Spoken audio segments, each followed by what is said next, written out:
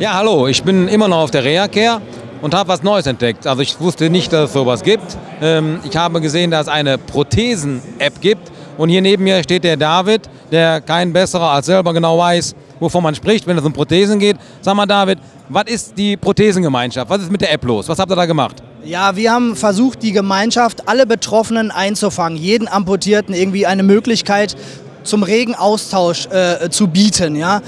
Dort sind Amputierte drin in dieser App, ja. Ärzte, Mediziner, ähm, Physiotherapeuten und auch Prothesentechniker, ja, Orthopädietechniker. Und ähm, natürlich kommen ganz, ganz viele Fragen. Was kommt für mich als Prothesenträger auf mich zu, wenn ich in die Situation einer Amputation komme? Ja? Ähm, ich kann die App auch einfach mal aufmachen. Ja. ja?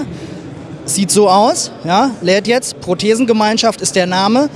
Unter anderem, wenn man hier auf diesen Reiter klickt, sieht man hier den Prothesentalk. Ja? Jede Woche erscheint dieser Talk, ja? also Podcast, ja. und er behandelt alles rund um das Thema Prothesen und Amputation. Also das heißt für mich als Betroffener, ähm, ihr habt die ganzen Informationen quasi kanalisiert und man bekommt bei euch wirklich umfassend von Fachleuten, von Betroffenen wie dir, die wirklich wissen, wovon man spricht, die Informationen. So sieht's auch. Äh, so sieht's aus. Wir haben auch einen kleinen Reiter Peer, ja, vom Betroffenen zum Betroffenen.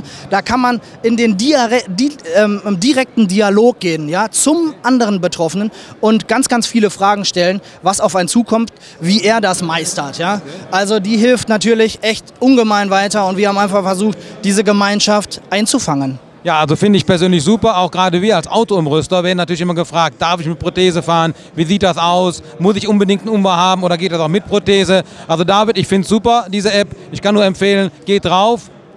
Die Prothesengemeinschaft, eine App und die gibt es auch im Apple Shop. Genau, die gibt es für Apple im App Store ja, und auch für Android-Nutzer im Google Play Store. Einfach Prothesengemeinschaft eingeben und dann findet ihr das. Ladet sie euch bitte runter, die hilft wirklich ungemein weiter. Vielen, vielen Dank. Ja, ich danke auch und dann tschüss von der Reacare.